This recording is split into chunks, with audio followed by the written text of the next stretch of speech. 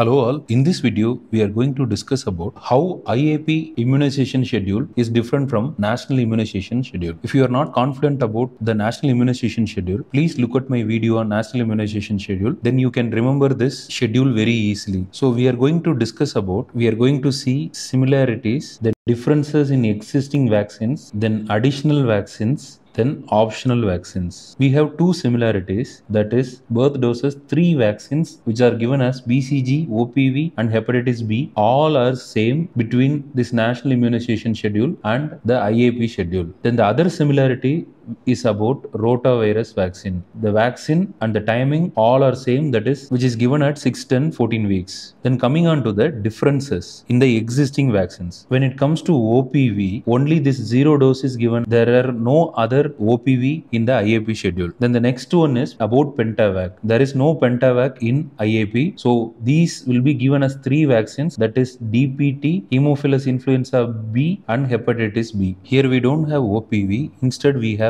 IPV. IPV will be given at 6, 10, 14, 1 and half and 5 years. There will be total of 5 IPV doses. And remember this is not fractional IPV which we use in the national immunization schedule. Then the other vaccines which are recommended during this period is PCV and rotavirus which makes during 6, 10, 14 weeks the infants will receive total of 6 vaccines. Then the other major difference in the existing schedule is about the MMR. So instead of 2 doses in national immunization schedule we have 3 doses in IAP schedule. That is one at the 9 months, another at 15 months, then the third dose at 5 years. There are other additional vaccines which is for typhoid. We give typhoid conjugate vaccine one single dose at 6 months. Then we give influenza vaccine at 6 and 7 months. Then after that second third, fourth, and fifth year. This will be given in the month of April during the pre monsoon season so that the immunity will be effective and they should choose the recently available influenza vaccine. Then we have hepatitis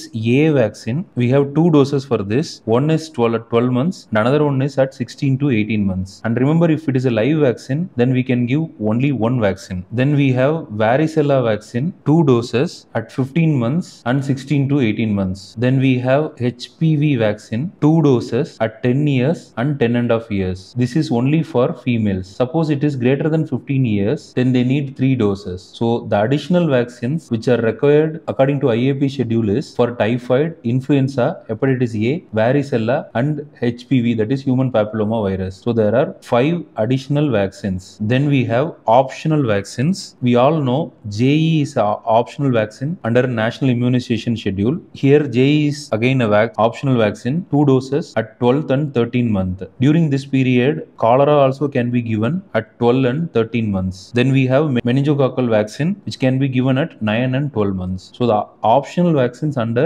IAP schedule is JE, JE, cholera and meningococcal vaccines. These are all not routinely recommended. They are recommended at high risk situations. So with this we try to write down the exact schedule of IAP schedule. Ideally you need not remember each and everything. The list will be available for practice you can always check and do. For examination purpose you may need to remember this. So at birth the vaccines are going to be the same. So bcg opv and hepatitis b. Then at 6 10 and 14 weeks instead of pentavac we will give dpt hepatitis b hemophilus influenza b then rotavirus ipv and pcv so there will be six vaccines at this point of time. Then at 6 months we need to give typhoid conjugate vaccine and influenza first vaccine. At 7 months, we need to give influenza second dose, and at 9 months, we need to give MMR 1. 12 months, we need to give hepatitis A first dose,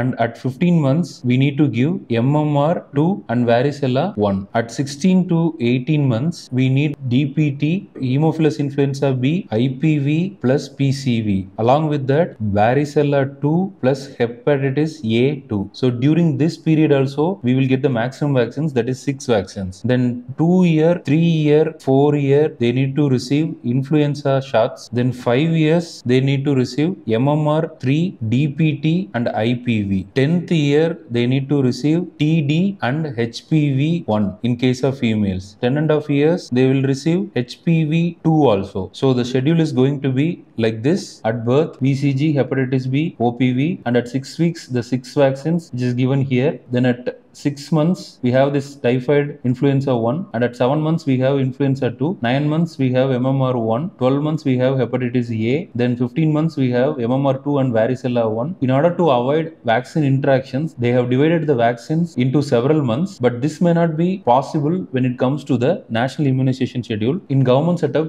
the idea is to deliver maximum number of vaccinations with the minimum number of hospital turn up. So these are all the remaining vaccines, then which is followed by 16 to 18 months we have six vaccines again. Then second, third year influenza, fifth year we have this MMR3, DPT and IPV, 10th year TD and HPV2. So that is the basic difference between national immunization schedule and the IAP schedule. If you like this video, please click on the like button and share it to your friends. If you haven't subscribed to the channel, please subscribe. Thanks for watching.